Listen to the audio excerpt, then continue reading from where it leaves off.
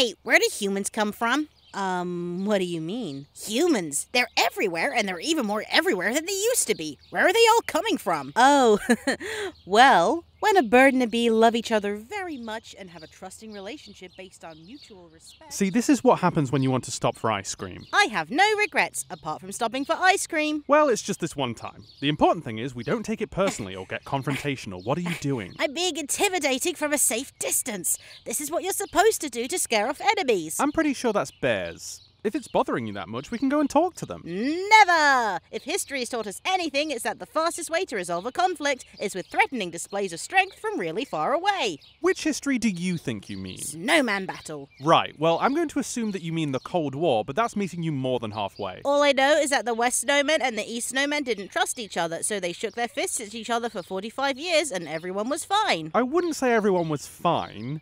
There was a bit more to it than that. Hmm, like what? Okay, well, first of all, it was humans, not snowmen. Doubtful. And it started around 1945 after a different big war. Two big superlands who were friends during the different war were celebrating their victory and deciding how to run the world from now on. They both decide that their own idea for running the world is better than the others, and that makes everyone upset. Who are the big super lands? Well, lots of people were involved, but the most powerful places on each side were the United States of America and the Soviet Union. They were so mad at each other and determined to prove that their way of life was better. Okay. So the United States were like, can your communism do this? And then started building nuclear weapons. And the Soviet Union was like, well, can your capitalism do this? And then sent a man to space.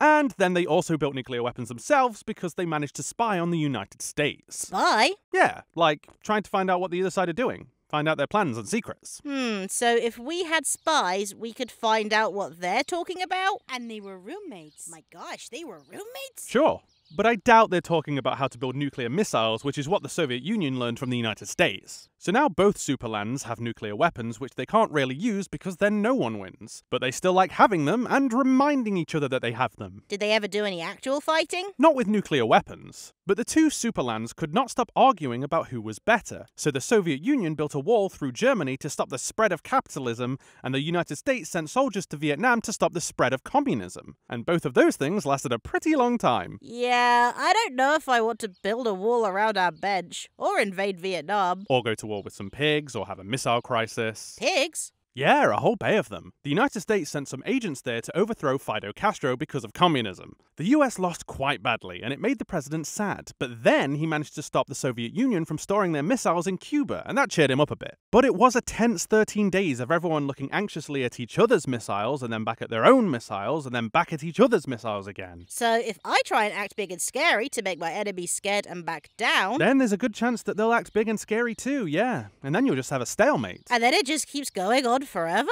Maybe. But whilst they were arguing with the United States, the Soviet Union also started arguing with itself. Then in 1991, the Soviet Union was so fed up of arguing all together that they officially broke up into 15 separate countries, putting an end to the Cold War 45 years after it began. So, who won? I don't think anyone really won. They all just disagreed until they disagreed so much that they didn't have time to disagree anymore.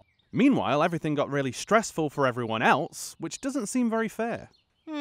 Well, I'm still upset about our bench, but at least now I know that trying to be scary and angry is not always the best way to solve a problem. That's very mature of you. Unless there's a bear. Yeah, unless there's a bear.